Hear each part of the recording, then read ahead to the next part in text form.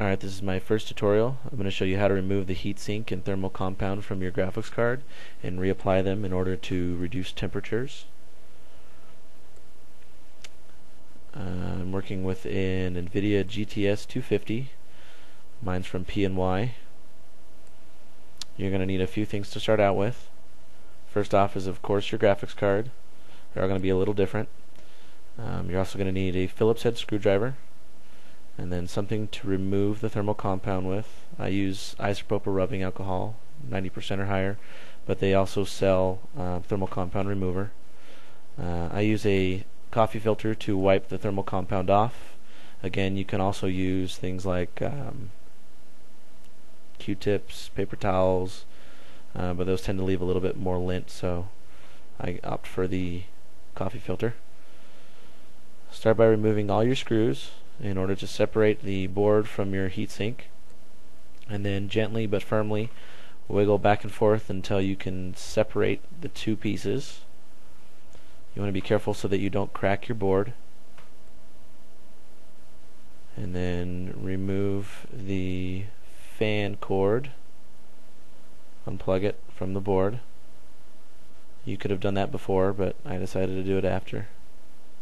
As long as you're careful with it, it shouldn't matter. Uh, here's the heatsink, and that's what we're removing, is that big gray square.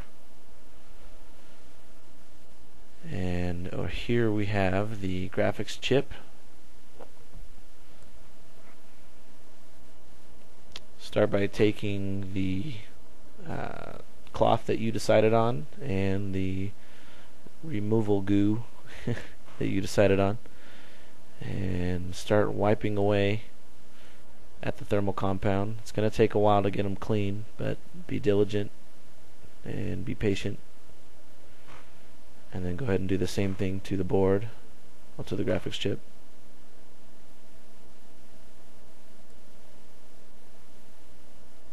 And then once you're done, should look something like this. Mine's still a little dirty, but I'll fix it later. And then here's the graphics chip and board nice and shiny and clean. Then go ahead and take your thermal compound. You can pick any brand you like. I am using Arctic Silver 5 and I use the dot or pea application method.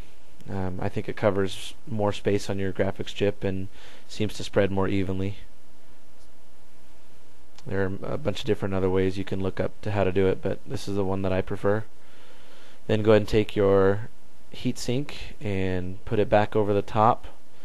Push down firmly and wiggle back and forth just so that you know that the thermal compound is spread nice and even over the entire chip. And then turn it over and make sure that your screw holes are aligned. If you have to move the board a little bit to make sure that they're aligned, make sure that you um, wiggle it again so that your thermal compound is redistributed. Uh, go ahead and rescrew in the board again. Plug your fan cable back into the board and you should be done. Thanks for watching.